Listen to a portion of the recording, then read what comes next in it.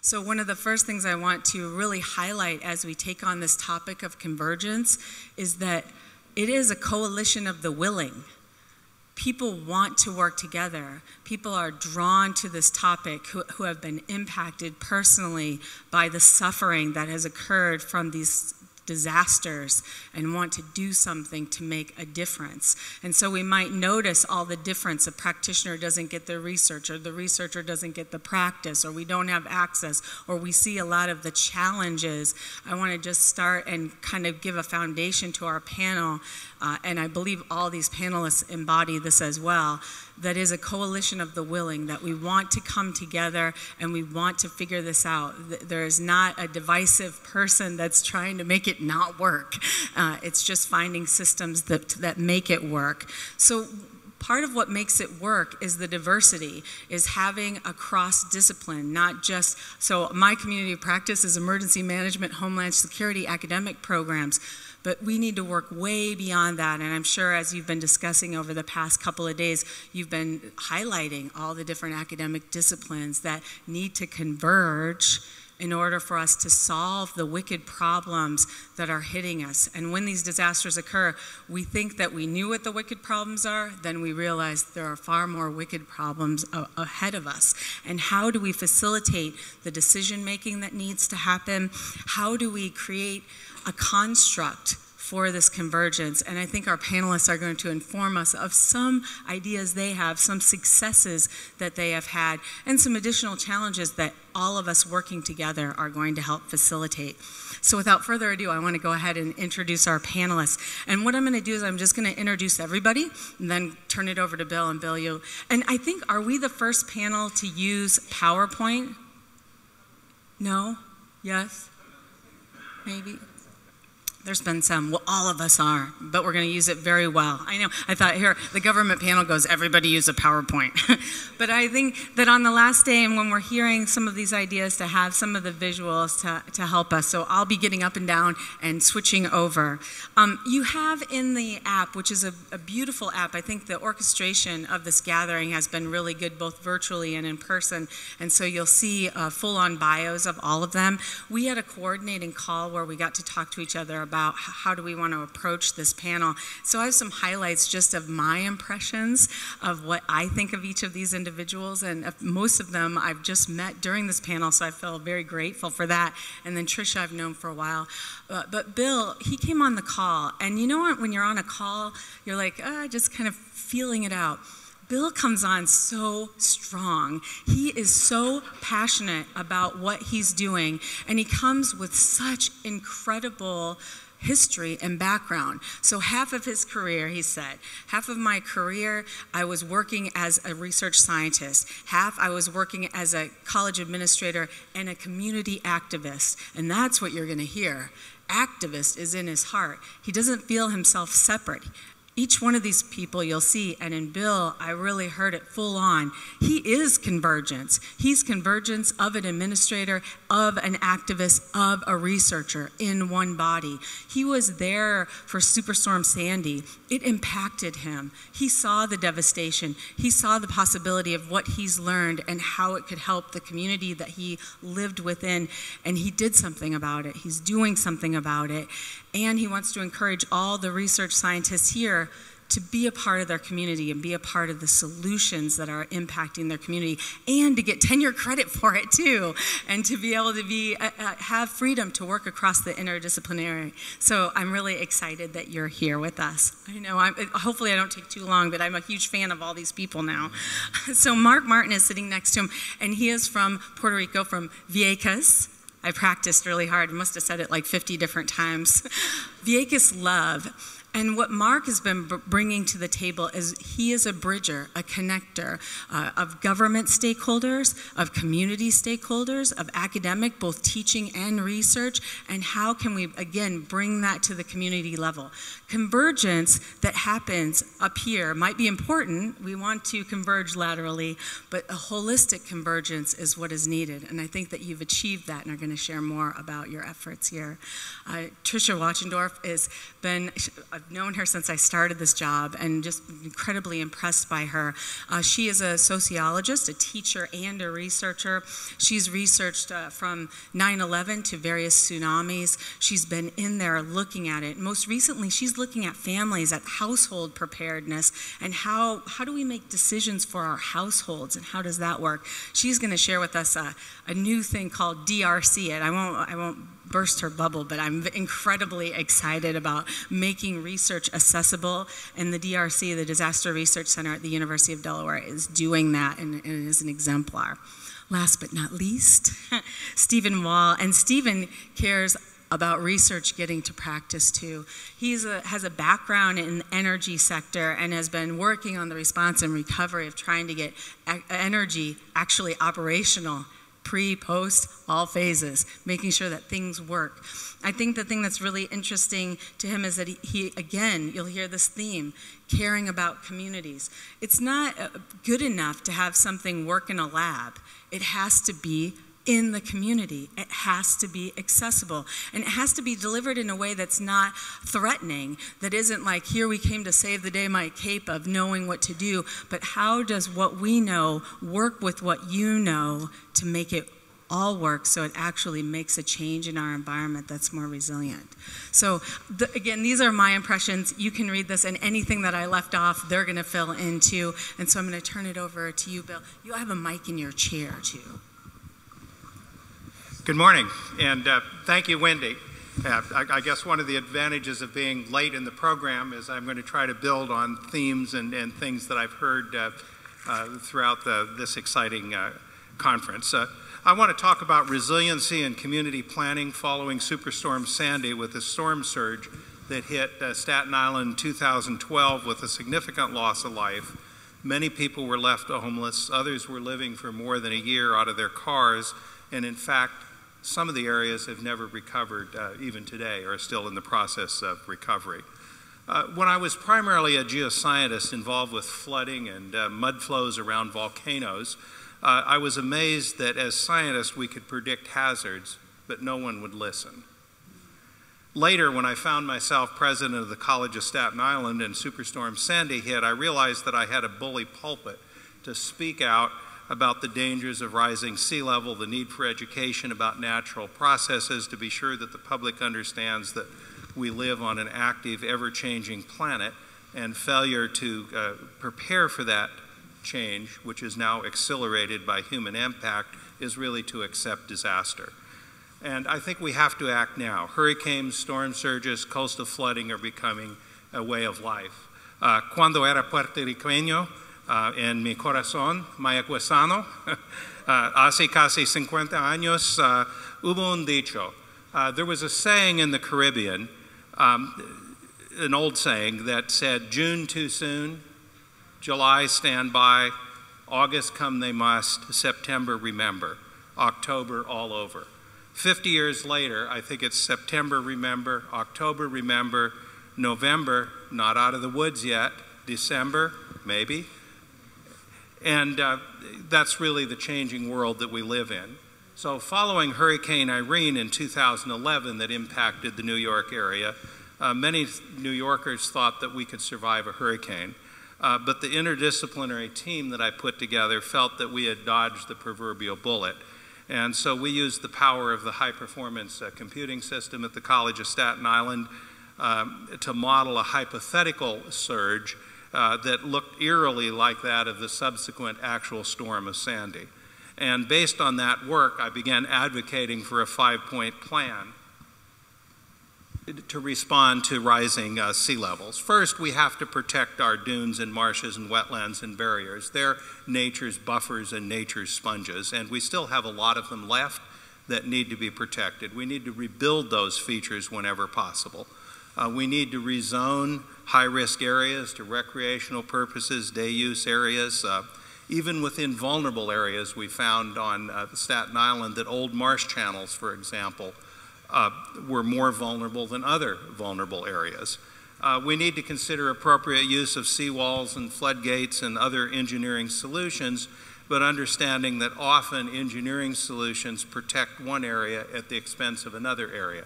Uh, and uh, most importantly, we need to educate uh, people, climbed to safety. The, the tragedy in Staten Island is, uh, is, is people were drowned because they ran down into their basements and, and behavior appropriate for a tornado, but not for a storm surge. Uh, central for our work was an understanding that we needed change to keep our community uh, safe. And so I, we put together an interdisciplinary team of geoscientists, computer scientists, economists, psychologists, nurses, social workers, mental health counselors, creative writers, and public health specialists all working together. And that to me is the exciting uh, part of uh, community uh, activists. Uh, I was appointed to the governor's task force, and we used uh, regular presentations and speeches to um, advocate for long-term planning. One of my team members, Alan Benimoff, is here in the front, who has done a long-time community show on Staten Island cable TV called Geology Forum, something that I rarely see in, in other communities. And uh, we felt that this education was uh, crucial. At the college, uh, you know, the role that I play as president is, is that our college is an anchor institution on Staten Island. Uh, we have a strategic priority of borough stewardship and a motto that we're a part of Staten Island, not apart from Staten Island. And uh, so we naturally took on that role of community uh, leadership. And you know, environmental change requires a, a, high degree of community activism. So when I uh, uh, uh, served on Governor Cuomo's New York Rising uh, Communities Task Force on Staten Island, you know, in meetings we often had 30 to 100 people in the room with competing interests and often contradictory interests, life support, rebuilding homes, small business recovery, emergency plans, property values, political long-term planning all competed for attention. You know, on the surface, those uh, community members seem not to care about scientific publications. But I would submit, if we had not published in scientific papers, we wouldn't have had the credibility to be taken seriously. And so I think both things are needed. Scientists need to publish their work, but they also need to get involved in, in sharing that work. You can't have one without the other, without the, the traditional peer-reviewed scholarship, but it, the peer-reviewed scholarship is not enough to affect uh, change. And I think in, in my experience, uh, scientists are reluctant to get involved in community activism, and, but I argue that that's the only way to change uh, public policy. I think for too long there's been a stigma in the scholarly community against uh, promoting scholarly ideas to the public. And I would argue that that's contrary to the common good. And we really need more scientists and more scholars uh, who are engaged in uh, promoting their work. And, you know, I think uh, Wendy mentioned earlier we need to look at uh, you know, reward faculty roles and rewards, uh, you know, to reward the scholarship of public advocacy and uh, writing in addition to that of basic research. They're, they're, they're both uh, very, very uh, important. Uh, scientific societies can play a powerful role as well. In my own uh, society, the Geological Society of America, and I'm not going to read the whole statement, but there's a public statement that says geoscientists have a professional responsibility to inform the public about natural hazards. And, and, and I think that that's something that uh, probably every scientific society could have uh, as, as, a motto to copy. So on Staten Island in New York City, uh, in order to infect environment and policy change, scientists have to navigate a, an exceedingly complex political system. You know, on Staten Island, we have a city government with a mayor, a city council, a borough president, we have community boards, there's state government with the governor, the state, the assembly. There's the federal government with local congressmen and senators. There are federal agencies like the National Park Service and Army Corps of Engineers. There's regulatory agencies, uh, both New York City and New York State departments of environmental protection, sometimes at odds with each other, sometimes uh, uh, on the same page. There's New York City Parks, there's New York State and New York City Office of Emergency Management and I'm sure I've left a bunch out, but you get the picture.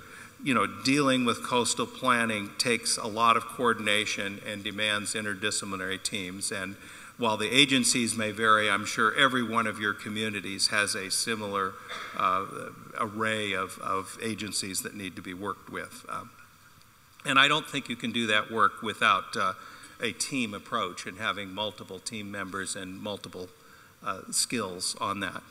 Uh, you know, we've uh, long uh, advocated on our team for go to high ground uh, signage.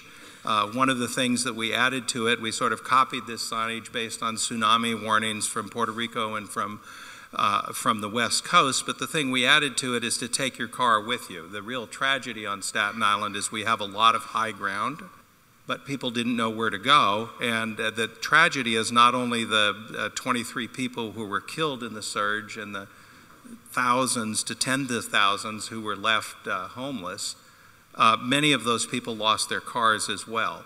And, you know, unlike Puerto Rico, eh, we had six inches of snow about three days following the storm uh, surge. And if people had just had their cars, they could have sheltered in the cars. And so we've come up with a transportation plan to try to take uh, cars to uh, safety. You know, and even when you think you've successfully uh, navigated uh, your work, there's still more to do. And if you see on the sign here, the left is uh, the sign before, and after five years of hard work, we got the arrow turned 90 degrees. But turning that arrow 90 degrees will save lives because the old sign directed people parallel to the shore. And so, again, there was loss of life with people running parallel to the shore as opposing turning 90 degrees and going where the high ground is. So it may seem trivial, to change the direction of an arrow when you had a more elaborate plan in mind, but it will save lives, and, it, and, and it's much better than what was there before. Uh, you know, my closing, I guess, uh, science, technology, IT, and modeling tools alone cannot keep our community safe. You know, that takes uh, community activism. It takes legislation. It takes interdisciplinary teams from many different disciplines that includes the humanities and the social sciences all working together uh, with the, uh, the uh, long range uh, planners and uh, other team members like are here on the panel. Thank you. Great. Thank you, Bill.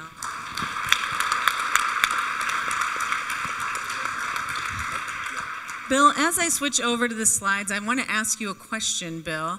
Um, you talked, you gave us a whole list and litany of stakeholders and players that were involved in these sorts of changes of just moving a, a sign 90 degrees. One of the questions that we were asked to think about as a panel what, were what incentivizes people? Did you notice different things incentivize different stakeholders? Did you have to approach people differently in order to get some of the things done, whether it's that or other uh, remedies that you've been able to institute? Yeah, I think it's tough. I mean, Grounded was the role that the, our college played as an anchor institution, and even before Superstorm Sandy had branded ourselves as a place where we have serious conversations about difficult topics. And I can't think of anything more than a difficult topic when you put 100 people in the room, um, 30 of them who are homeless because they've lost their homes and are angry because relief isn't coming fast enough to rebuild the homes. And you have other people in the same room who are looking 20, 30, 50, 60 years out trying to do the right thing. And dealing with those competing interests was, it was both exciting and it was a, it, it was a real challenge. Mark? Hi, my name is Mark Martin Bras. I come from Vieques, uh, Vieques Love, an organization uh, that was born out of Maria and has morphed into uh, something else like many of us have.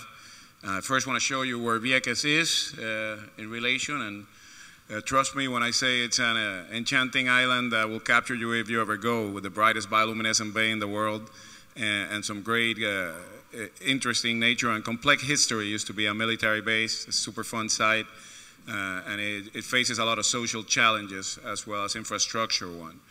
I want to show the next slide because we seem to forget with time the monster that Maria was and the way that it took away all sorts of services, all sorts of uh, uh, human interactions. Uh, I, I, wish I could tell you that the reality is that everybody pulled together and showed their best side in unity. And I'm not talking about Vieques, I'm talking all, all these disaster areas I saw in Puerto Rico, but it wasn't the case. It was such a communal shock. It created such a communal psychological trauma that we still live. That the functions that were set out, the structure that was uh, installed, did not work in many ways. And so we had a lot of people reinvent the wheel because we had to. this is just to show you some of the things my organization had to work on. And really, what happened is that we had a campaign, campaign manager for politicians, an oceanographer, a graphic designer. We had all these sorts of people spread out, but the reality in Vieques was that the system crashed.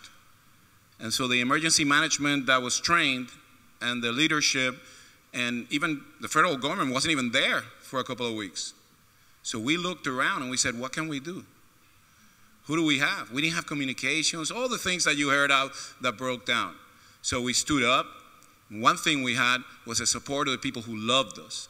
And we have forgotten to include in the conversation enough, I think, the philanthropic, the diaspora, the foundation, and the private influx that helped the, the response of Maria. Without them, we'd be even sadder. And it would have been a chaotic tragedy. And that's something positive that came out of Maria that created some connections that we have to include in this convergence as we played around, we realized that we became more of a fielder. My organization had people that had gone to Vieques, over 7,000 donors that donated up to a million dollars. So like, what would we do? Oh, well, we'll go to the government. Eh, no, you can't do that. That's duality. Are you doing it? No. Okay. And we had to do the craziest things buy fuel for municipalities, pay the pharmacy so they serve medicine for cancer patients. All these things that we can talk about in detail, but really not something that we want to do again or that we should have been doing. So we tried to come up with community solutions. And these community solutions really came from the people that had the need and many times the insight. Let's not make the mistake that, that nobody there knows better. Let's go show them how it is. Uh, but we did have the help.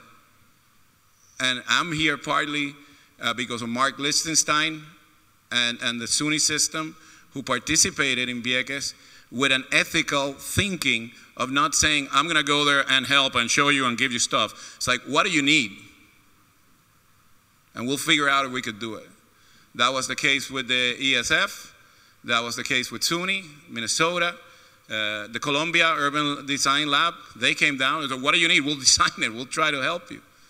And just a quick note, like of all the structures, all the buildings they had, one of their solutions brought by people, architect girl that, that just graduated from Vieques, and one of the ladies from the Urban Design Lab was like, what can we come up for emergency management? What's a good thing? Oh, we need solar panels, we need to say, sure, we need all that. But you have horses and a lot of horse people. Let's develop the rangers, the Taino rangers that are going to go around and find people in the response when nobody can get through, and they could be connected.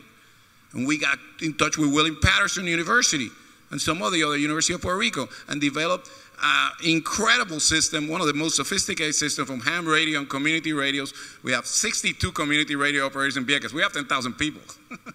we have three stations. We have 30 ham radio. We have 11 satellite phones just in Vieques Love. Just created communications as we can, but we did it with the catalyst of the universities helping us. And we both learned. And that takes me to what I think is going to work if we're going to do convergence, and that's a virtuous exchange. It's a model that's taken by the Aspire approach. It's a model that researchers and uh, academia have to include a convener, a person, maybe me humbly, but it may be uh, many other people, that is not government, that is not particularly, it could be definitely in the community group and in the NGO sector more often than not. And this person will help those researchers get better science. They'll get a higher efficiency into whatever federal program it's going, not only by education, but identifying in a flexible way the gaps that are there and the sensitivity of the place that can make the solutions. We did all these things, but after we got partners or the government came in, we stepped out. And that's going to have to go into any model that we design here so that we go through a process and we're able to uh, uh, kind of spin and pivot. And that pivoting is not as easy for federal agencies as it is for the convener. That virtuous exchange is a connection between the information they need for research and the reality of what's happening in the place, but a product that helps us both. When we came along, we just didn't have the experience. If we would have had the product that can come out of the RISE in terms of guidelines, processes, digital tools, and the connection avenues for the academia to us, wow. I dare say there might have been people still alive. Mark Lichtenstein and Kara, eh, you know, talked a lot about something that's very important. I heard a lot of people say, and it inspires me from this group, and that is the human experience brought into academia and research. I am usually a scientist in oceanography, so I know that they take away for objectivity understanding. But in this case, you cannot. You'll fail. You won't tap into what you need to tap into. And in that system, a lot of us were completely, you know, people, Mark said very nicely, hey, you, you might have saved lives. Yeah, I'm an oceanography community leader guy. But anybody who's in the business of saving lives can tell you you're going to cost lives and that's something really hard to live with. The mental health support and all these other things supports that you can help bring, not only by bringing it, I think we have stopped bringing and saying like catalyzing, promoting, fostering, planting, combining, because you'll learn a lot too. It's a virtuous exchange of what the reality of the modern world is now and how that can be. I wanted to, for the, the human experience. These two girls will never forget meeting each other's at the higher education level, that has happened as well. So how we look forward, one of the things we have to see is that there is a lot of components and RISE has a way that it can academically organize them.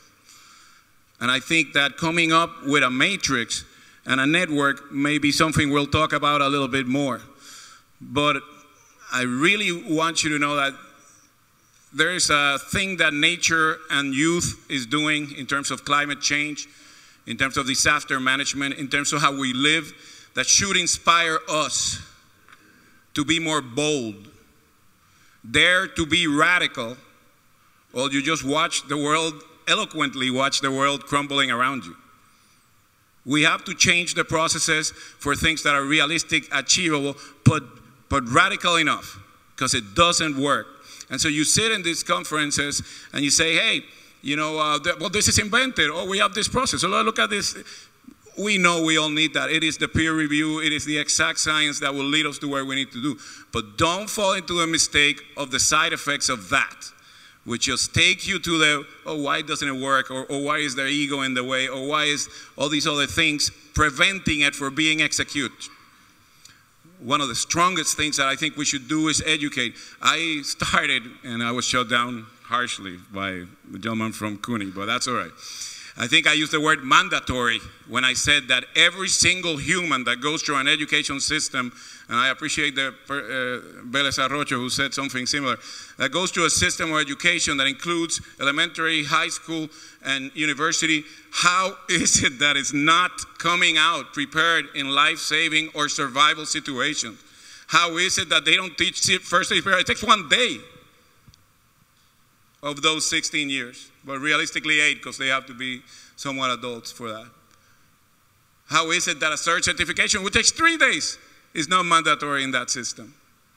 And I think one of it is that we are losing the reality of what is valuable in terms of education and what is the reality of what's happening now.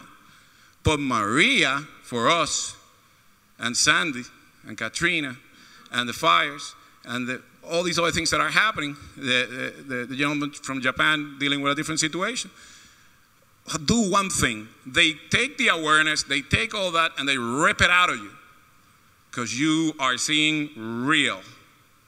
And within that real, there is opportunity to converge and find systems of convergence that allow us to think differently and to remember that we have to look at the world that we have right now as something that is not what we were all trained to do.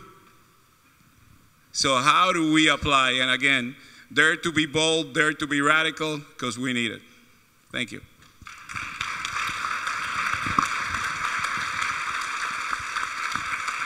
Thank you.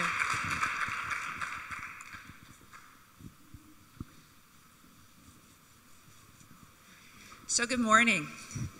Um, I want to start off by thanking Eric for organizing this panel and for Wendy for taking such a, a, strong lead in corralling us together and, and helping guide some of the questions in the discussion.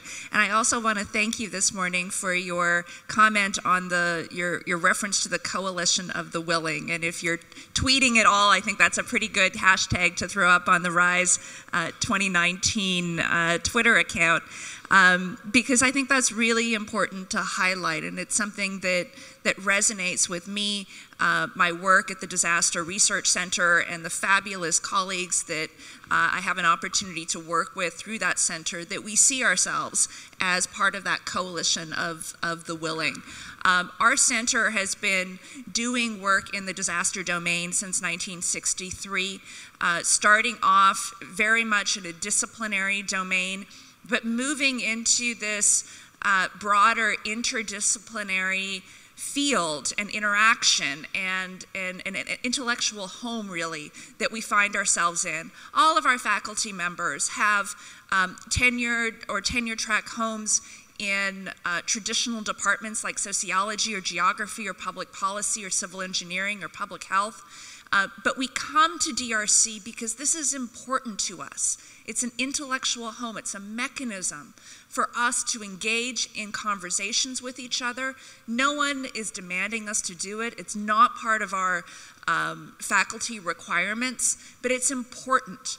And that's been modeled to us by the faculty who we've worked with, the students we engage with. And that coalition of the willing, I think, is really a, a good descriptor for all of the people in the room here today.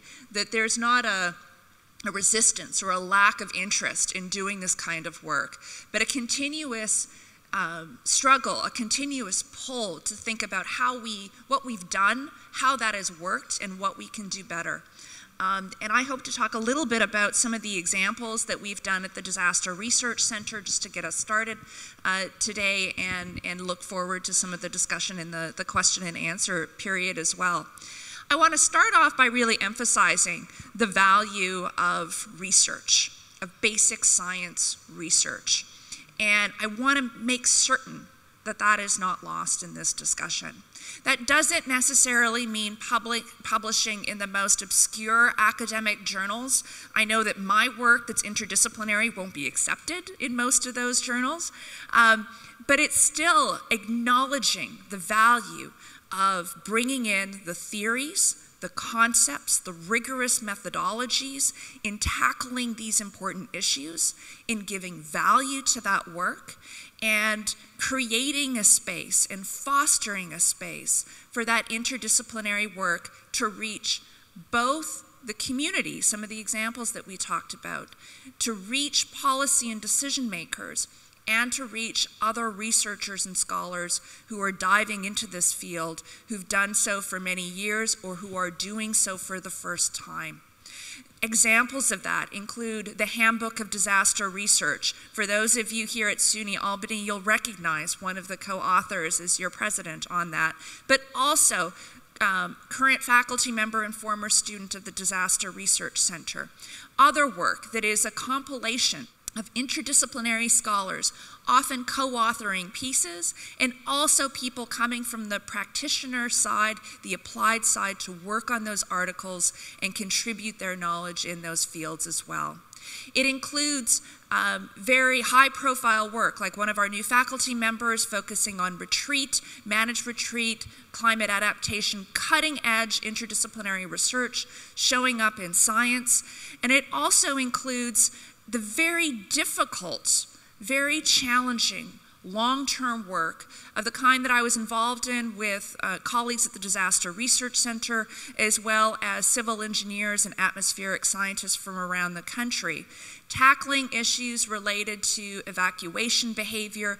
Pulling together these different approaches, sometimes not knowing what the person on the phone call is actually saying, uh, but having the patience with each other, to, to trust that they have expertise in this area, to devote the time that it takes to really understand those questions, to develop those trusted, sustained relationships with each other, to engage, for example, as we did with the, the project on the, on the evacuation modeling, with stakeholders in state emergency management, in the Federal Emergency Management Agency, at the regional level, with the American Red Cross, meeting with them every year, twice a year, once on the phone, once in person, to get their input. Is what we're doing applicable? Is, is what we're doing useful to you? What input do you have? But also as we're deploying in the field to North Carolina, something that might not make it in a, in a journal publication like this, but we can say, we were in the shelters and this is what we saw. We were talking to people three months ago, and we want to give you this information. It might not make its way into a publication, but is useful for you nonetheless, and they can take that that discussion, that informal conversation, and immediately integrate it into their practice. That you can do both of those engage with practitioners, engage with each other, and value that, that basic science research and the contribution it makes over time. But there's other work that we're doing as well. Um, and again, I'm highlighting some of the, not just my work, but the work of my, my colleagues and the students and faculty associated with Disaster Research Center. Um, the very complex system dynamic model that you see here uh, was developed uh, looking at initially at a concept of resilience, moving a little bit away from that to look at uh, post disaster recovery trajectories and community well being. A very detailed systems dynamic model developed with medical scientists, um, civil engineers, social scientists, grounding that in the literature, trying to figure out a new way of conceptualizing and understanding uh, theoretically, but also a way to, to compare communities across the country.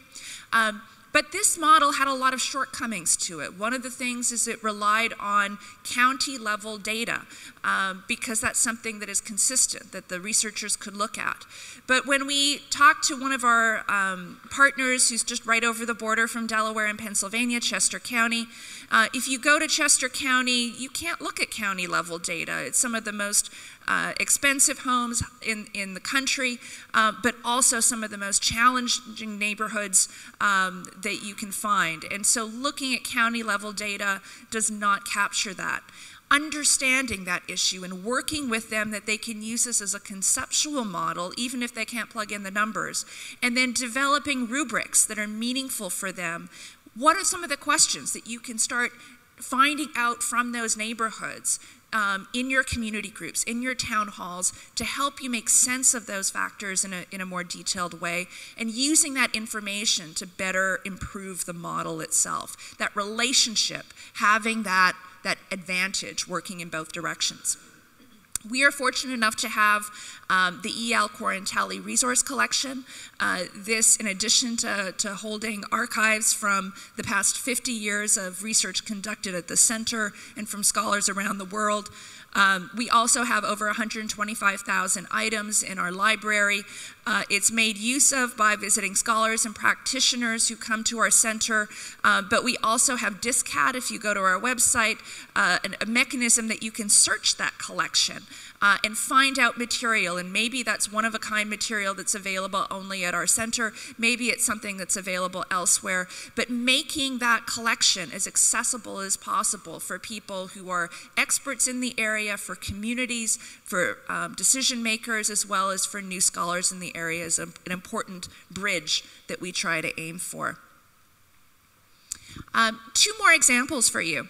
Uh, I had the, the fortunate uh, experience of leading a Delaware Teachers Institute uh, course. This was developed through uh, Yale Teachers Institute in Delaware has a model of it. We were really interested in impacting K through 12 education, developing modules that could be used in multiple age groups over time, reinforcing that information, um, really bringing the science into the classroom for children as young as kindergarten. Um, I am not a kindergarten teacher or an eighth grade teacher or a 12th grade teacher. Um, rather than trying to do that ourselves, we partnered and we brought in, uh, in conjunction with this initiative, uh, teachers from public schools in Delaware.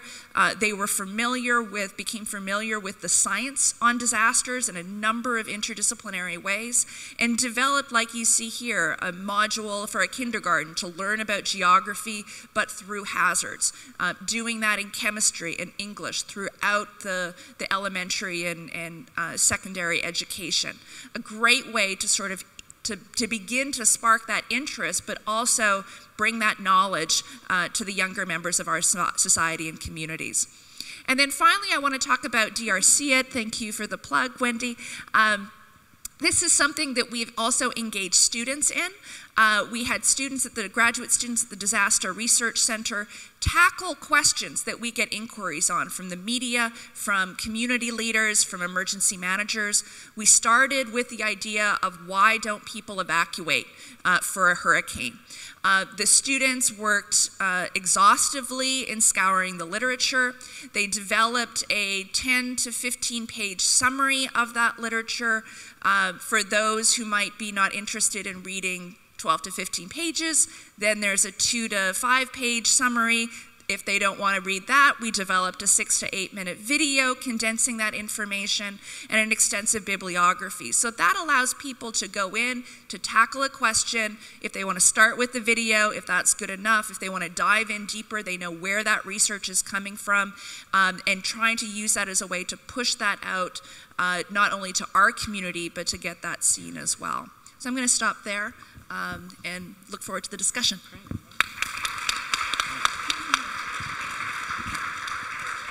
Already, you can hear the convergence when we heard Mark talk about we need more uh, in the schools. And then we hear, Tricia, you provide us an example of something that's happening in the schools. And I think that's part of that information sharing that you highlighted and building the trust to do that. And Mark, I, the bold and the love. I think the love is one of the most bold things that we can do, that we can connect this and this. And that's really the fuel for convergence. So thank you. do my job here and pull up the slides. Good morning, everyone. Good morning. thank you, Professor. Uh, thank you. Uh, honestly, thank you, Cecilio. Thank you, Marla. Thank you for, to the other organizers, Eric and Wendy for having us all here. It's a real privilege to be among such a group, a august group of scholars and practitioners. And it's even more of a privilege to be up here to share a few thoughts with you from, from the stage. Uh, I know not only a few of us get, get up here to do that, and I, I want to make the most of the time. Uh, I, and um, hopefully, I have a couple useful things to say to you all. This is a word cloud from my notes from the past few days. So you can see the themes that, that jumped out to me. Resilience, obviously, being one, but community and community directed outcomes, solid number two. I think that was probably the biggest theme that I heard talked about over and over again. You also see things like pedagogy, uh, action, service, problems, design. I think the breadth and depth of the problems that we've discussed here can't be solved in three days, but it gives me confidence and hope to see all of us together committed to try to solve some of these problems and do better the next time we, we face some of them.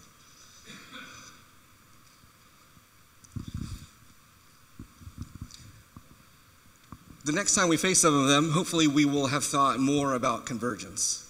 It's a difficult problem, though, as we've all recognized in various ways. And even being here, I think we recognize is a recognition that convergence is a difficult problem to solve. These are just some of the relevant programs and actors and, and, and frameworks and definitions relevant to resilience. I mean, I think there's a dozen programs in each of these federal agencies that could be have funding relevant to resilience. And then these definitions are a little bit all over the place, and someone we we need to do the work of figuring out what resilience means to rise and how we're going to communicate that to the, to the people we want to reach. The question among all of these is how do we distinguish between scope creep, though, and convergence? Because we often are warned at our federal jobs about scope creep. We have budget to do very specific things. uh, and anything outside of that, people start to get uncomfortable. Even if it's legal, people start to get uncomfortable. Getting creative and thinking outside of those silos is a challenge to all of us in the federal service, and hopefully one that you all can, that are practitioners, university students, et cetera, can help us work through because we need that support in order to see change happen. As we do that, we think through about how the federal government can respond better. We also need to think about how do we make sure communities have a voice in that. The federal government works with states mostly. That is most of what we do. That's the way the Constitution is set up, and that is appropriate. But in doing so, we need to make sure that we are capturing voices within the state that aren't necessarily in the governor's office at that moment in time. And then we also have the question of how do we do this well? Because um, everyone has a plan until they get punched in the mouth, in the words of the immortal Mike Tyson. Um, and in 2017, I think that happened. If you count 2018, we had disaster events in every US time zone. We had everything from hurricanes and typhoons, tornadoes, earthquakes, wildfires, volcanic eruptions. Um, there really wasn't anything that we didn't see in those two years. Uh, it was an unprecedented amount of response that was necessary, and we saw how things worked well, and we also saw things that didn't work out well. And we need to do better next time, and that's why I'm glad everyone is here because we need to figure out how to do better the next time. And if we are going to incorporate resilience into this approach to disaster response recovery, I can't imagine anyone better at the center of that conversation than the people of Puerto Rico who can teach us more about resilience than I think anybody else.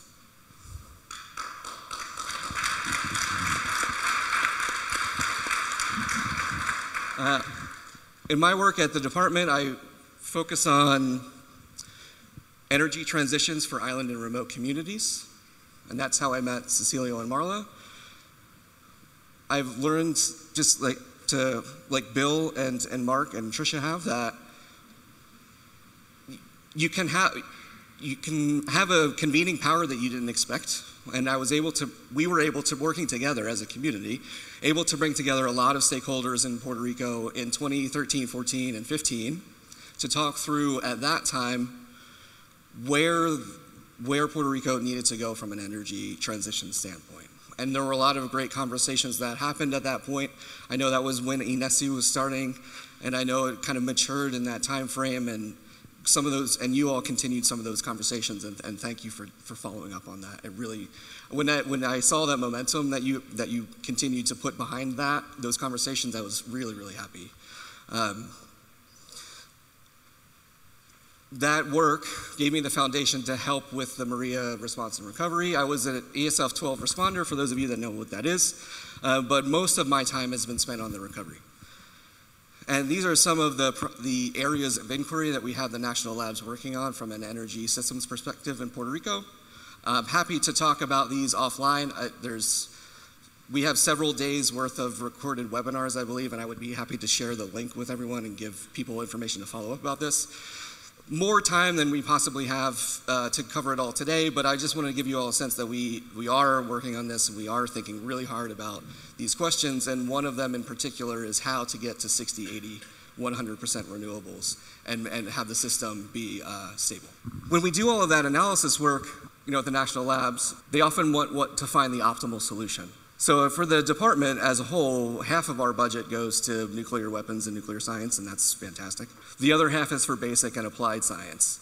To underscore how important that is, I think we, I wouldn't be here, and we, uh, if all of those researchers weren't working on R&D and putting out papers, because that's the stuff that I spend my time thinking about, how to get that out into the real world. And when I do think about that, I realize that optimal, when you're doing a modeling and you know, running one model is different from another model. And it's also different from a technological standpoint or economic standpoint. And of course, the social optimal is something that is often elusive, but the, the most important optimal to find. And achieving an optimal outcome, I think, like convergence, takes bringing people together. Like this, um, like INESI, continuing to bring people together. But it also takes being honest with each other. It takes being honest about what you can bring to the table, what your strengths are, what your interests are, and, and not really hiding the ball on what you want to see at the end of the day. And, that's really hard for a lot of people um, because there's often competing interests. And it's might be self-interest, it might be the interest of your institution. Well, my university really should get this funding, not yours, or the federal government saying, well, we really do this, not you guys, and really just figuring out what the desired outcome is and what everyone can bring to the table and kind of try to leave ego out of it as much as possible. So, with that in mind, these are some of the thoughts I have about um, what RISE could do to help bridge that gap and create convergence. You know, I think pedagogy has come up quite a bit, and resilience pedagogy, what does that mean? Is that a unique discipline? Is that something that we need to create a discipline around? Obviously, there was conversations from the very, very beginning of the conference about tenure track and what that means and how that could be adjusted. As related to that, publication type and frequency, what counts towards tenure, what counts as academic, what counts as valuable from getting the scientific research out to the public. I think evaluating that needs to happen. And then, of course, something else that's come up quite a bit is resilience core competencies and curriculum. We see some examples of that. Uh, some folks have presented on it, but I think more thinking on that particular topic would definitely be worthwhile. We could create resilient community technical assistance partnerships, and we have some models on programs at DOE that have done work in a similar format. There's a lot that we could do, mutual aid being another one. Uh, these are just some of my thoughts, happy to discuss in the cohort and with everyone afterwards. Um, these are some of the things I think we can, could, should do. One would be publish proceedings of this conference. Uh, Bill and I and Wendy talked about that briefly, and I think I also talked about it with Catherine up there. Um, it could be a foundation for a journal of resilience studies, which doesn't exist. I mean, there's a couple journals out there that touch on resilience in a particular context, but maybe not quite as broad as RISE has in mind. Obviously, establishing a mission, vision, and goals is important. One of the low-hanging mangoes might be a federal program for resilience financing guide. There's a federal financing guide for clean energy that's out there. You can Google it and find it. Um, looking up, doing something like that, but focused on resilience, is timely and could be really, really useful, and not that hard. One that is going to be a little bit more hard, more hard, but is also very timely, and I think very, very important. I want to emphasize everyone here is coordination among state level planning efforts with regard to housing, energy, and disaster mitigation. There are new programs at FEMA, there's a lot of uh, disaster funding at HUD. All of these, those funds will go to different agencies and they can be used for energy, but those state level agencies have to plan what to do with those funds, and it's incumbent on those state agencies to do the coordination at the state level. So, with your help, you can provide knowledge to the state agencies and, and, speak to the governors and speak to those agencies and drive coordination among those planning efforts. Big opportunity. There's a lot of money on the table for the, in the next 12 months. Um, unfortunately, hopefully the disaster funds dry up because there are no more disasters, but assuming they do continue, that coordination at the state level will be fundamentally important. Uh, and then one thing to, to, go back to the very beginning of the very first panel, um, your, some, of, some presidents said, well, the faculty needs to tell me what they want to do. Hold them to that.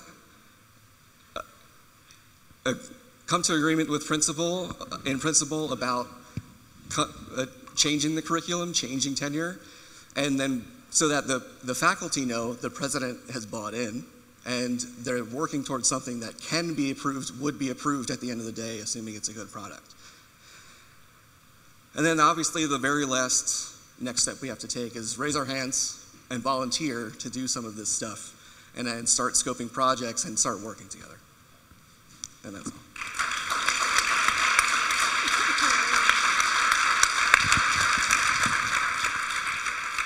Fantastic. Already hands were raising. I was, uh, you know, feeling a little regret that I missed the first two days, and as I and I still regret not being with you longer. But as I sat and listened to this panel, and I came from a, a, convergence of the practice community, I noted three big things that are very much in common uh, that I just want to put onto the floor. And then, as I promised, I want to open it up to the greater dialogue for you to talk with us a little bit more. Uh, mental health, that is such an important piece that has not been really well addressed by the practice community, by the academic community, by a lot of communities. And there is a lot of motivation and incentive right now for emergency managers. Uh, the IAEM is standing up a new caucus on mental health. You had brought it up uh, just a little bit, and I think that it's important for our communities, for our responders, for our academics who go into the field and come back. How do we care for each other? It really comes down to love and care. These are the strong things. These are the fuel, and that might just be my message. What I keep saying is that it, that's the fuel that's really going to bring the convergence. The mutual aid uh, among universities that you mentioned. There's a huge caucus in the International Association of Emergency Managers of emergency managers on academic institutions. If you haven't worked with them yet, you haven't connected with them yet, do it. They are connected themselves and uh, they're a powerful force and they want to do more things. So I think that's a great way to converge with the practice. And then the federal agency coordination, your comments really struck me and I was surprised by that being, you know, feds and all. Um, the scope creep, I was thinking, man, one of the things that came up at IAEM is that the federal agency, we need to do a better job of coordinating. The FEMA mission is to help people before, during, and after disasters. I don't see much that you've probably talked about that really creeps into that. It's part of our mission uh, it's part of our mission to be, you know, to support the emergency support functions, to figure that out, but we have to do it together. So um, I, I, like that. It really got me thinking, you know, when I started off the Coalition of Willing, I'm glad it's coming, this effort is coming from academic institutions, and I know there are uh, DHS and FEMA people who have been here and are in the room, and we have a role too to be a part of this as a collaborator not as a director per se, but certainly as a collaborator. There are a lot of ways that we can get things done. The financing guide, I think that's great. I would want it be on federal financing. I want to know all the financing and funding that's out there to really, really push the collaboration. So, anybody, I mean, have you been doing questions? People stand up and go to the mics, or how are we doing this? So, if anybody has a question, go to the mic. I have more questions, but this is really about, this is our last day together. This is our day to really do that convergence, to have this conversation with each other. Whether you ad- agree, disagree, have something to add, it's the time is now. Go ahead. Hi. Um, it's fun to be on this side of the microphone. I've been on that side of the microphone for a few days. So I want to comment on, um, or really ask a question about the, the fourth bullet, the driving coordination among state level planning efforts. So, um, in the research center that I lead, we spend a lot of time uh, at all levels of government um, really working to generate conversations uh, around multi level planning efforts. And so, I was very excited about the idea that uh, you know, you in a, a, position of encouraging, focusing, even compelling uh, federal agencies to drive coordination among the state level uh, agencies. My question is to what extent and in what way might you think about how to encourage or even require um, those state level planning efforts to engage communities, right? We've talked about communities so many times in the communities that I work with, the local governments here in New York State and around the world. Uh, the states don't necessarily engage the local communities in planning the kind of coordination that you're talking about, which is coordinating among the state agencies, but taking into account their individual coordination activities with the local level. So, how can we, in these kinds of uh, initiatives or funding programs, uh, encourage or potentially compel uh, our state level colleagues uh, to engage in a really systematic and, and robust way um, the communities they serve. So I'll go first then. I'm sure others have perspective based on their their experience. Um, right now, I think one of the ways to encourage coordination is that it is a timely conversation to have. I mean, the best time to fix the roof is when it's sunny, but we also happen to be in a moment where there, HUD has a lot of disaster recovery funds, and FEMA has a, at least one new, major new program with regard to mitigation and preparedness. And linking up those different agencies at the state level is something that they often haven't needed to do to get the money. In fact, they don't need to do it to get the money. But because of the volume of funds and the new programs that have been created, state level coordination can be a game changer with regard to how effective those programs are. And so I think one of the ways to encourage state coordination is to drive home how timely the opportunity is. Um, with regard to communities, I mean, it's a somewhat intractable problem, but I mean, it takes hard work and a commitment, right? And I think, you know, and I, I want to let Mark and Bill and Tricia comment on that because I know they've all done th this work as well. I want to hear their insights. Yeah, I think one of the, the things that we have to create as well is uh, a mechanism for that community to be better connected to the to the state level uh, decision making. It, it usually it's not. It's combative. It's uh, it's uh, based on what is legally required, and it's usually a farce. Uh, the participation, we, at least in my experience, public hearings, it's like, oh my God, what are you doing? Uh, and so they have to be, I mean, I, I, I, dare say I'm not the person equipped to talk about legislation, uh, but definitely there has to be some policy that is uh, uh, revised into, into that participation. And in Puerto Rico, community foundations and groups are immensely powerful in, in the human side, you know, so they can definitely do it. One of the things that you mentioned with the money, and, and I think, I don't know if it's as much a driver or a necessity, is that we have to instill that this money should not be used in things that contribute to climate change or contribute to a lack of resiliency, which is what I see happening in many places in Puerto Rico. So we, the, the, state level decision making could be influenced by the, by the federal level who is providing the money into assuring that we're not making the same mistakes and actually lowering whatever our definition of resilience is. But I dare say that RISE and the academia can help establish that. I'm not really sure that that's something the federal government is going to drive or the state level government. It, it depends on the state, so I shouldn't say that. But in the current situation of Puerto Rico, which is a, a, a fluid and complicated and, and distraught government, I'm not sure I would trust them to make the right decision in terms of climate change or resilience. Yeah, I'm, I'm not sure that I have the answer to the question, but I, I can really underscore the importance. There's such a fog of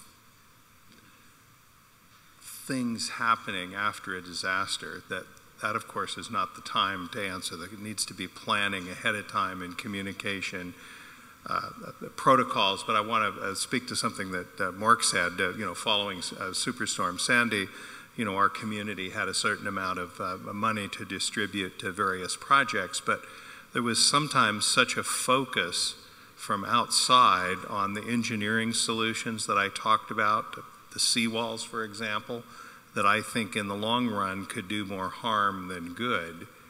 But people are so desperate for an immediate solution, sorting out the immediate needs from the best for the long range needs. But during the disaster is not the time to talk about that.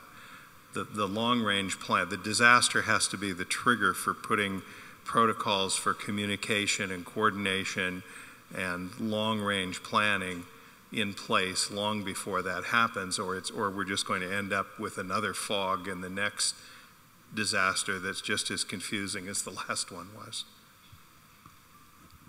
Great, thanks. I want to just make one maybe a different perspective, and that is that there are states where people are working well together. And so, really looking at the exemplars where things are happening, where we are working together, is really important as well. See how it's working. And then also empathy. I think sometimes we automatically can say, this person's doing this, or this is self interested, or this is that, without really taking the time to hear that other person's story. And even people working in state government and federal government have stories.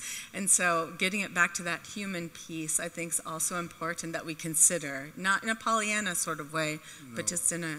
I think that one of the things we heard about about RISE is that, and, and I see from the, the, the participants there, that it could be a trusted voice In the case of Puerto Rico, our relationship between the federal, I'm going to talk Vieques now, federal, state, and municipal level has so many uh, speed bumps to be nice, you know, and, and not swear or anything. Uh, but uh, that, that there could be a parallel channel that RISE uh, fills in the gap with the community groups to drive some of these initiatives and to make sure that it's a straight path and not to have all these chunks of money or package programs hit a speed bump and never make it. Thank you. Uh, We have a question in the back, and then I'll come to you. He's been standing. Yes, uh, thank you. Excellent panel. Um, Oh, wait. uh, Some of you have been speaking, I think um, Martin spoke about the diaspora, the role of diaspora. And uh, throughout some of the panels that uh, the diasporas have been mentioned, uh, in Puerto Rico in particular, uh, as Martin mentioned, uh, it was a very, very important component in trying in the recovery of Puerto Rico. Uh, is there any university researching or studying uh, how the diasporas behave, uh, how uh, procedures and protocols can be developed so that that assistance could be better channeled? And um, I would like to hear from the panel if there's something uh, being done or could be done regarding that specific uh, uh, factor uh, that that is very important, uh, at least not only in Puerto Rico, but the rest of the Caribbean. Thank you. Any of the panelists aware of research?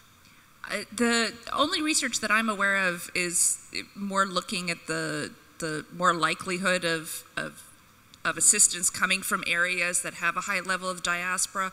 Um, I would actually refer us to Jennifer Santos Hernandez, who might know a little bit more about the topic um, and the research that has been done in the area, because it does intersect with some of the, the work that she's done.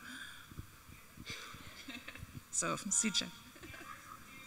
Jennifer, could you use a mic, please? Thank you.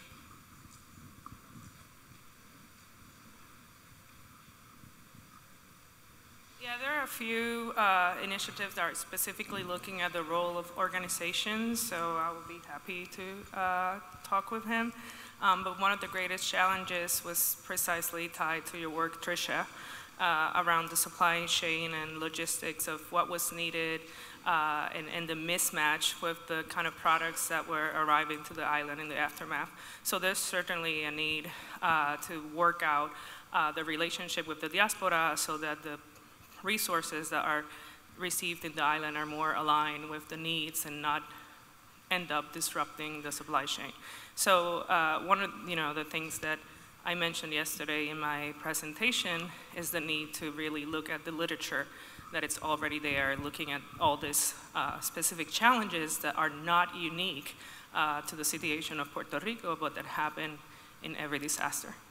And, and I would just add also, I think looking at the, the out migration um, where people are going to pockets where there's a, a high diaspora elsewhere. I think a lot of times our focus is on the impacted area and um, it's sometimes difficult to, to recognize that there is an outflow, uh, be it where we're looking at Puerto Rico, or if we look back at the Haiti earthquake of people going to family members, friends for extended time periods. We saw that after Hurricane Katrina, even within the mainland um, and how to provide adequate assistance to those people who are impacted by disaster but may not actually be in the physical location where that event happened. Yeah, but I do think that what the gentleman said is it is a underrated effort that the diaspora has done, and it also, when you look at the diaspora, people may think of a specific group that has diaspora in the name or in its mission, but in reality, in many levels of government and groups, the diaspora has stood up and has reconnected the diaspora to Puerto Rico in ways that I've never seen before, uh, not only in philanthropy and logistics, but also in advocacy. And with the reality, and with the reality of the growing Latino market in the United States, that is something that is going to translate into politics big time. And I believe it's an opportunity as well with the funding to create some realistic uh, goals of how this support system can be nurtured. Just one quick comment. Um, we've seen diaspora help other places around the U.S. as well, uh, Katrina. But Detroit is one, and every year they have a homecoming where folks who have either roots in or strong connections to Detroit from around the country go back and talk about pressing issues for the city and how they can help make drive change and make and revitalize the city. And that sort of soft power coming together to talk about issues is is it's hard to sometimes trace the influence that it has, but it's definitely influential. And I, I don't, you know, I think there's some of the progress in the city is due to that that homecoming and that diaspora coming back and still caring and paying attention to, to Detroit. Thank you. Hi. This has been a fantastic conference. Thank you, everybody. Um, one of the things that helps dispel the fog and promotes uh, conversation and collaboration is having a common vocabulary. So, my question I've been working with taxonomies and ontologies, and my question is since I'm new to this field, is who in this field is developing that common vocabulary that we can use in the academic community so that we don't have journal X saying the same thing as journal Y, but using slightly different words. And that we can have that um, trickle down effect from the people who are linguistic and, and, interested in this question down to the, the field where the rubber meets the road and we're actually delivering services to disaster victims and the, the non impacted communities helping. Um, would developing a taxonomy and, and uh, an ontology for disasters, pre disaster, uh, immediate response, and long term recovery be a, a, function that RISE could do? I would say no.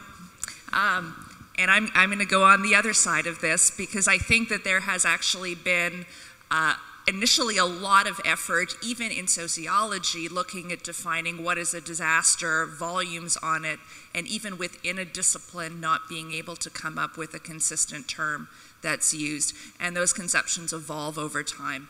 I would be worried that by focusing so much on um, what I mean by resilience, or what you mean by resilience, or what the next person means by resilience, our attention is better spent um, articulating that from the beginning to have an appreciation that if we're now talking about convergence in terms of um, uh, the, the practice and the, the, the, different fields and the sectors. If I speak to convergence to my civil engineering colleagues in supply chain management, they're going to give you a very different, different definition of convergence and say, why are we using this term in this way. If I think about convergence in the social science literature, I think about the work of Charles Fritz back in you know, the, the 1950s and how the idea of convergence of people, material, and information to disaster zones is so well established. And then now we're talking about convergence in a totally different sphere. So I, I would be worried. I think there's a, an importance in in understanding what our colleagues mean by certain terms and having an appreciation of that. Absolutely. I think where we can have some level of understanding and articulation about how we're using those terms is critical.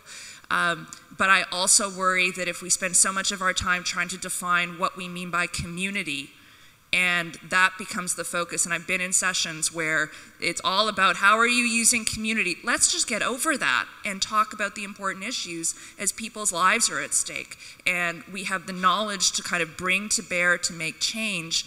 Let's define what we're meaning about that term now and move on to the really key important issues. So I think that there's a, what you say is important, um, but I think that there's a danger of moving too far in that direction and losing sight of the, the really key things that need to be addressed.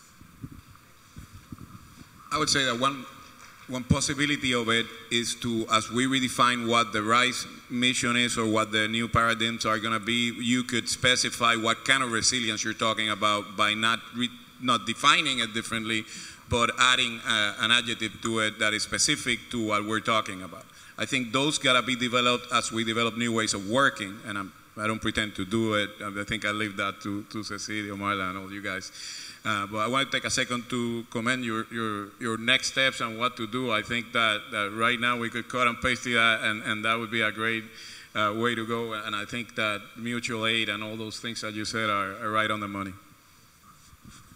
Yeah, I would just like to say, I think uh, those taxonomy and ontology of words can be beneficial when we use keywords, when we are looking to share our research, and I think from a faculty and student perspective, we still need to think about that, not that it needs to be so poignant in the definition, but at least so that we can uh, share and disseminate the information.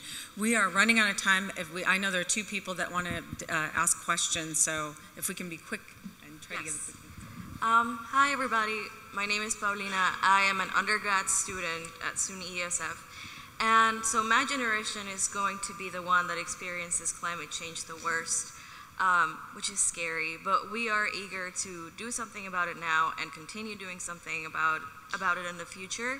And my question is what advice do you have for young leaders and young children who will become the new leaders uh, in addressing these wicked problems because a lot of the times it's overwhelming and I see my peers at ESF sometimes we get depressed, we get sad because it's just too many bad news. So how should we go about being effective and at the same time like taking care of ourselves while we're at it? Thank you. Yeah, I guess if, if, if I understand your question uh, correctly, and I'm going to go back to, to what I was talking about before, the need for interdisciplinary work has to be grounded in strong disciplinary work. And so I would urge anyone getting started into this to pick a discipline and become an expert and a, and a knowledge expert in your field at the same time looking for ways to develop those interdisciplinary and, and cross-disciplinary uh, connections. I think it was last night someone was talking uh, about don't tear down the silos, build bridges and tunnels and uh, connections between the silos. But I, but I think for, for a young person starting, I would urge the importance of, of, of grounding in, in, in a specific discipline. And I would have a little bit of an opposite of, of, of guidance. And I think that's important as, a, as an undergraduate student for you to recognize that there's no right or wrong answer. And it's not like you have these wide wise sages here to give you some sort of guidance. It's, it's finding messages that resonate and guidance that resonates with what you want to do. Uh, I mean, we have uh, wonderful students who are pursuing that kind of depth that is absolutely key to understanding the issue. And we have other students who are pursuing interdisciplinary degrees that are boundary spanners who do not have that depth and recognize they don't have it, um, but they're functioning in a different way. And whether you're pursuing scholarly research or whether you're pursuing more of an applied field, um, one of the things that I scribble on like a post-it note in my office is march to a louder drum. And I don't really know what that, that means in terms of direct, but it keeps me going that there are going to be challenges, you are going to be stressed, you are going to be frustrated, work is going to be hard, and finding those connections that are valuable to you, where you find meaning in your work, that you can get through those hard spots. And if that's hard spots in terms of of, of your academic program or the relationships that you have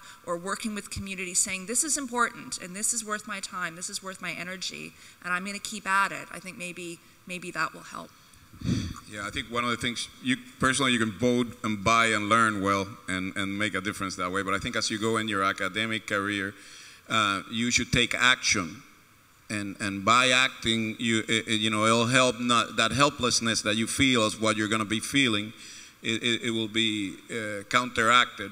Mindful that the reality is that your generation is going to receive a different level of mental health problems uh, from climate change because we're facing it in like, oh, we're gonna die, you know, like, but uh, no, but but but it is a different and it's a new, and that that should ride the wave of the constant awareness that is changing daily about climate change into again bold radical change that needs to happen.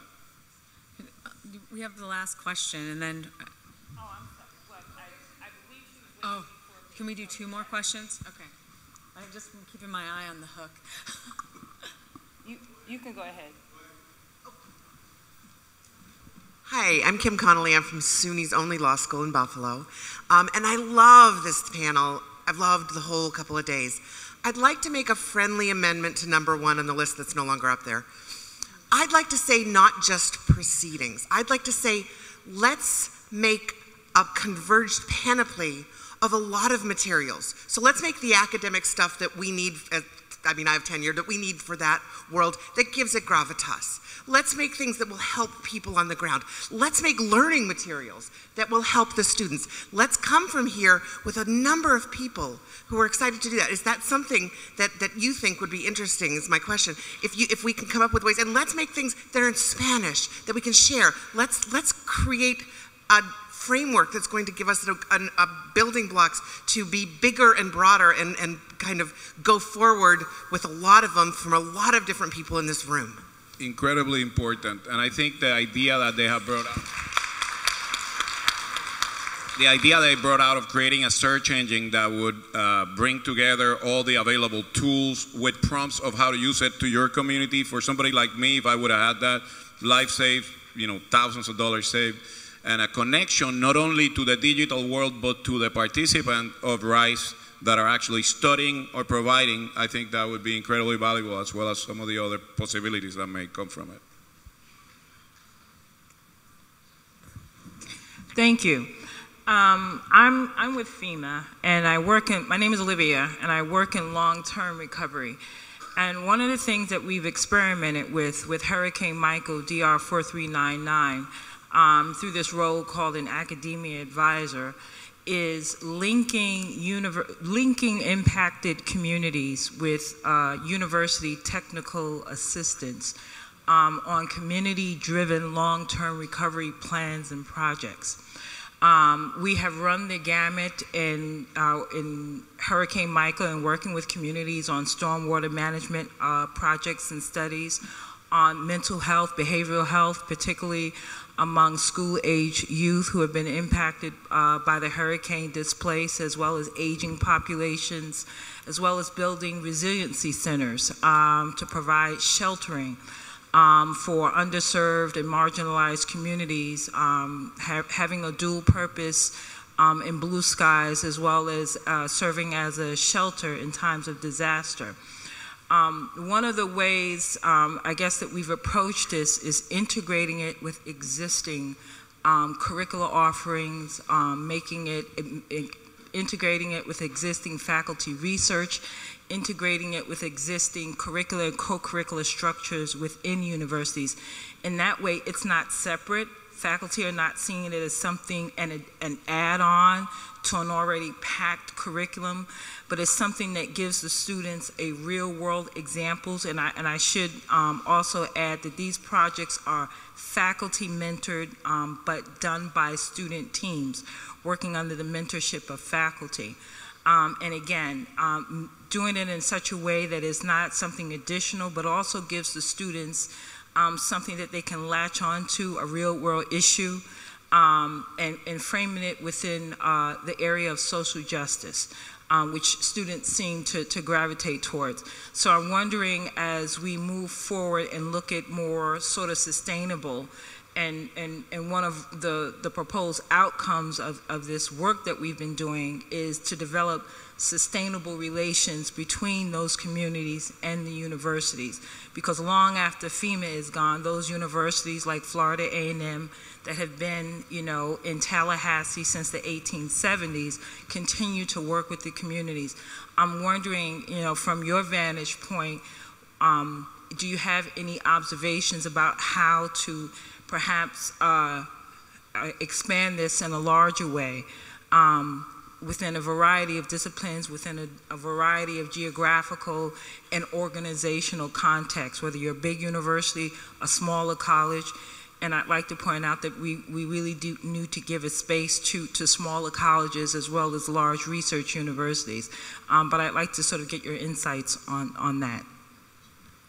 Sure, I guess let, let, let me re, uh, respond to that uh, from my perspective. I think all of the things that you mentioned are, are, are are right on uh, between what needs to happen. I think what helped us at the College of Staten Island was developing a strategic plan that talked about boroughs, because we are on the borough of uh, Staten Island, we called it borough stewardship.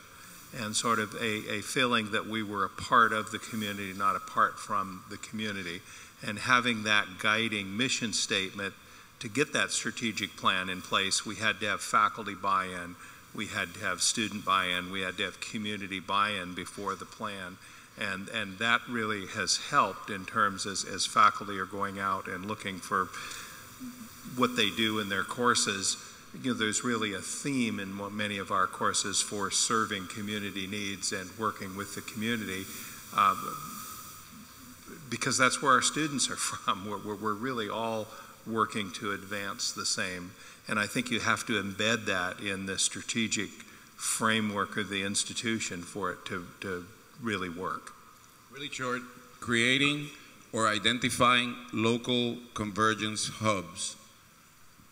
That is one of the missing pieces that I see when all these projects come, they don't have a local participation, the logistics, the connection breaks down.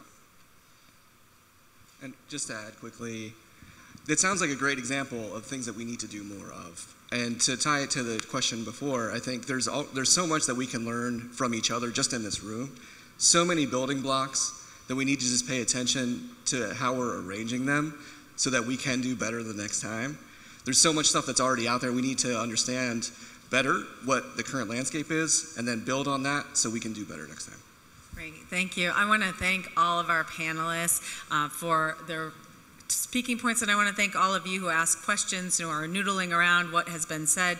We really wanted to talk about the convergence. We wanted to talk about the impact on climate change, on the gaps, the incentives, where what frameworks might be possible, uh, technical solutions. Most importantly, we wanted to talk about implementation and next steps, and I think that's where we are. So again, I want to thank all the panel with a round of applause for being with us today.